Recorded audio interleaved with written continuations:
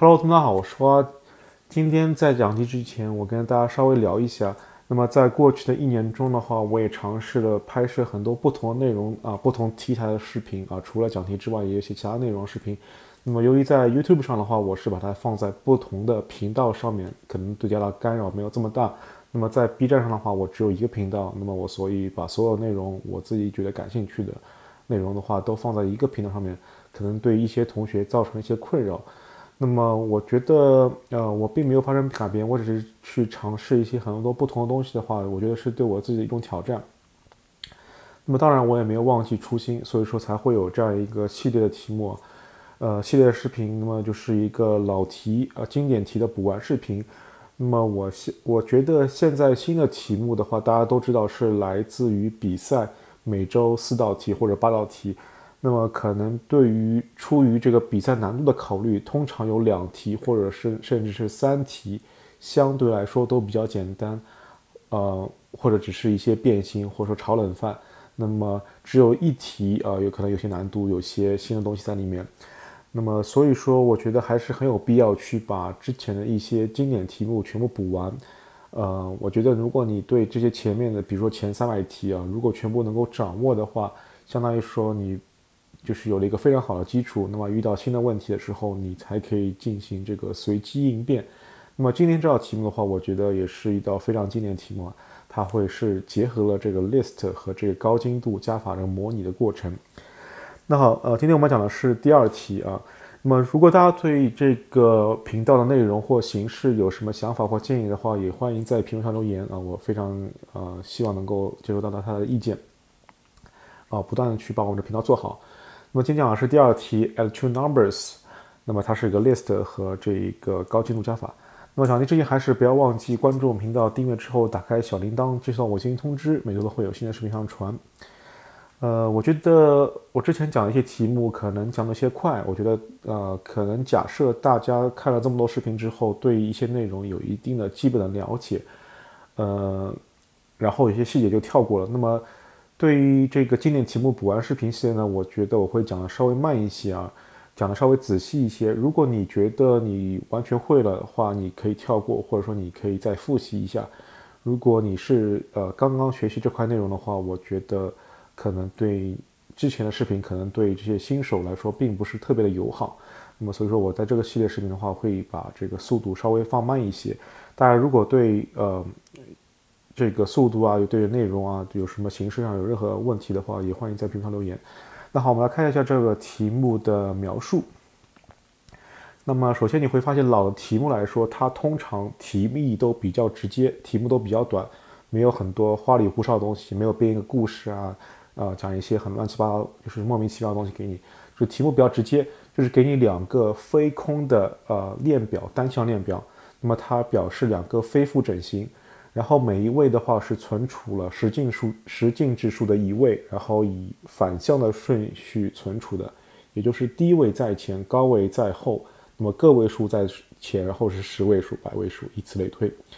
那么让你做的事情就是把这两个所代表的十进制数相加，并且把它的结果以同样的低位在前的顺序，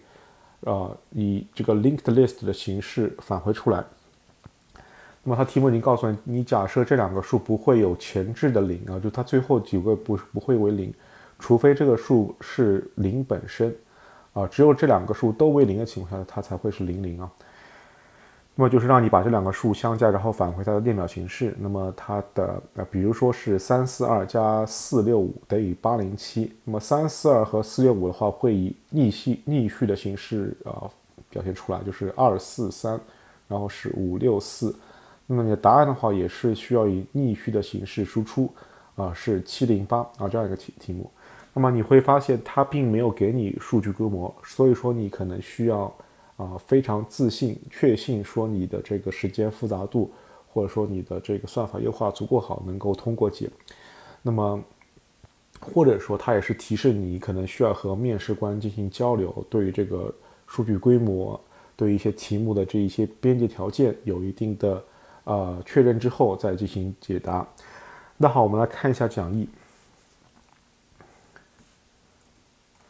那么这道题很明显的话是考察你两块知识点，第一个就是链表，啊，链表的便利以及链表的创建。那么通常对于链表的创建，我们会使用一个这个 dummy head 的一个 pattern，那么去 track 你的 head，很方便的去 track 你的 head。然后第二块内容的话就是高精度加法的模拟，啊，它虽然题目中没有说，那么它我们可以认为它的长度可以很长啊，比如说一百甚至一千，那么所以说它没法通过一个整形的类型三十二位或六十四位来表示，它只能通过。啊，链表或者数组或者说 string 字符串的形式来表示，那么就是我们通常说的大数 big integer 或者说高精度的这样的一个数学运算。啊，这道题的话是比较简单，就是让你求加法。那么对于这个高精度计算的话，我们就是啊，就是回想一下你小学时候做多位数的加减法，就是一位一位计算，然后如果两个数相加超过十的话，你需要记记一个进位等等。这边啊，完全是一样，一模一样的这个形式，我们只是通过需要用通过计算机的指令把这个进位存储下来，然后对下一位进行加减操作，那么需要通过代码来把这个过程这个实实现出来。那么对于高精度加法的话，有一些细节就需要注意的一些 special cases，比如说，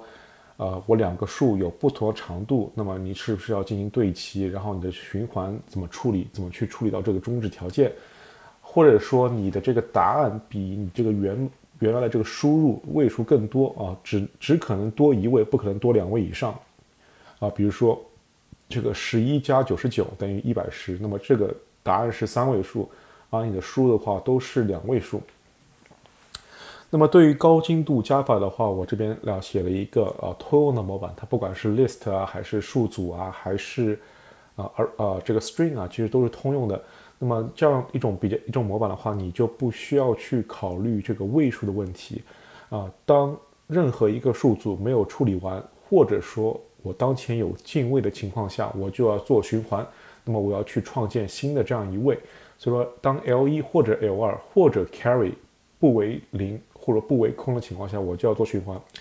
那么我循环的结过程中的话，我要去去计算这一位的值。这一位的值的话，就是 L 一的值加上 L 二的值啊。如果这两个链表还不为空的话，如果为空的话，我们就用零来代替啊。你可以认为它有啊，就是就是前面前置零，我们可以通过啊虚拟的补零把它补齐。那么 L 一的值加 L 二值再加上 carry，就是上前面一位的进位啊。如果进位的话，只可能是零或一，要么进位，要么不进位。那么 carry 的话就是零和一，零或一。那么得到了这个 sum 的话，就表示当前这一位的和。那么如果它大于十的话，我们只需要取它的个位数。所以说我们要对这个 sum 进行取余啊，对十进行取余，得到的这个值就是我们这一位需要存储的值。那么这时候我们创建出一个新的 list node 啊，然后把它它在这个 tail 的 next 上面创建出来，然后把 tail 指向它的 next。这边我们先不考虑这边链表处理啊，我们之后再会讲这个链表处理过程。那么只是讲高精度加法。那么当这个这位数字处理完之后的话，我要看进位。那么进位的话，啊，你可以写这个 sum 除等于十。如果它大于等于十的话，这个 carry 就是一；如果小于十的话，carry 是零。或者你可以写，呃，当 sum 大于等于十的时候就是一，否则的话是零。这个处理完了之后，我们就把这个指针往右移一格。如果是数组或者说是字符串的话，你也同样是往右移一格。如果移动到末尾的话，那么我们就停下来啊，就不不再移动了。那么所有处理完的时候，处理处理完之后，我们就 return 这个 dummy 的 next，就是我们这个呃创建出来这个 list 的 head，真正的 head。那么我们先来看一下时间复杂度和空间复杂度，我们再来讨论这个 list 的创建过程。那么时间复杂度很明显，我们这个循环执行的次数呢是和这个列表中最长的一个链表有关系啊。那么假设 L 一的长度是 n，L 二长度是 m 的话，那么它就是在两个链表中取长的一个，啊，然后它的执行的次数就是这个和它的长度成线性关系，所以说它就是这个 O max n m 和 n 中取的最大值。那么空间复杂度的话也是这个也是这个值，因为我们要把整个 list 全部创建出来，所以说我们有这么多个节点啊。呃，所以说这个就是呃空间复杂这么大，如果说它题目并不要求你返回一个 list，而是说把它的结果打印出来啊，当然 LeetCode 没有这种做法。假设说它只要求你把结果打印出来，那么这个时候它的空间复杂度就可以从线性降低到 O E，因为我们不需要额外的存储啊，只需要只需要这个 constant space 就可以存储所有的这一个相关信息。那么我们一边便利，一边把值打印出来啊，这是啊空间复杂度。我相信很多同学在第一次接触到链表的时候的话，都会觉得比较恐惧啊，很容易什么啊，就是死循环，要么是死循环，要么就是呃越界、空指针等等，然后啊会想着把这个链表先扫描一遍，然后把它的值全部存储在数组里面，才会觉得比较安全。那么很显然，你这个就是对啊链表的这个熟悉程度还不够。如果你真正掌握列表的话，你会发现还是比较轻松，它还有一些一些模式在里面。如果你使用这些模式的话，就不会出现很多问题。像我们今天给出这样一种模式啊，就是呃外循环的时候判断它是不是为空，任意一个对象要有不为空的话就执行。那么在里面的话，对每个对象进行单独判断，如果为空的话就不处理，如果不为空的话进行处理。那好，我们来看一下这个链表创建的过程啊，我这边给了一个例子，稍微修改一下。啊，是三四二加七六五，这个时候它需要进位啊，它都变成四位数了，幺幺零七。那么它列表给你的话是二四三和五六七。首先我们创建出了一个 dummy head 啊，那么注意它的这个，它这个创建出来对象的，你可以认为它只有它是一个值啊，它值是零啊，这边我们称 list node 是零，然后有两个指针，它两个指针就是其实就是变量啊，变量。它指向这个对象，那么同时 dummy 和 tail 同时指向这个创建出来这个零这个 node，然后我们就开始做循环。那么循环的时候，我们就把一开始的话就是它指向这个 head 啊，二和五，我们把二和五的值相加，得到了七，然后我们在 tail 的 next 啊，tell next 就是这个元素的后面一个元素，是 dummy head 后面的元素，创建出了一个新的。list node，然后这个嗯，dummy 的话就指向它，然后 tell 的话也会指向它。做完之后 tell 的话等于 tell next 也指向它。这个时候它的它的和是七，carry 是零。那么你会发现 tail 这时候和 dummy head 已经分开了。那么 tail 是指向我当前这个列表的最后一个元素。这样的话，我再可以才可以不断的往后追加新的元素上去。好，那么我们来进行下一轮循环。下一轮循环的话是四加六等于十，那么它的和是十，但是它这一位个位数是零啊，对十取余之后是零，所以说它变成零了。那么然后有进位，carry 记为一，然后我们把这 carry 带到下一位，下一位的话是三加七再加一等于十一，那么它的个位数是一，然后 carry 的话也是一。这个时候，你虽然我们的链表都已经处理完了，但是我发现有个额外的 carry 啊，carry 还不等于零，所以说我还进还需要再进行一轮循环。那么这个时候的话，呃，sum 是一，因为啊这个列表两个都为空，你可以认为前置零补零啊，零加零加这个 carry 一等于一，那么 sum 是一，然后 carry 就是零。那么这样的话，我整个循环就完成了。然后你会发现这个 tail 的话，永远是指向。啊，处理完之后的话，指向我当前这个链表的最后一个元素。那么这个 dummy head 的话是指向一个虚拟的这个节点，所以说它才才叫 dummy head。那么 dummy head 的 next 的话，啊，这个元素才是真正的我们这个 list 的 head。所以说我们返回的话是返回 dummy 点 next 啊，这个我们有个指针指向 dummy，那么 dummy 的 next 的话就是指向这个元素。这样的话我们就非常容易的 track 了 head 和这个 tail，那么我们就可以把它所需要的这个 head 返回。当然，你可以在这个循环里面说啊，如果是第一个元素的话，我就把它记录下来，当然也是没问题。但是我们通常都会用这种 dummy head 的这个形式来 track 它的 head，啊，比较比较方便一些，就不用再去做做额外处理了。那好，这是这道题目，我们来看一下这个代码，我这三个语言都实现了一遍。嗯，C 加加的话，我通常会把这个 dummy 的 head 定义在站上面。这样的话就不会有内存泄露的问题。我们假设在堆上创建出来对象会返回给这个 caller，那么 caller 会去 own 你这个对象，啊 own 你这个 list，那么你就认为它会去帮你销毁啊，你就不用考虑生命周期的问题。那么但于但是对于对于这个 dummy head 的话，如果你对应在堆上的话，呃是，如果你不去销毁它的话，它就会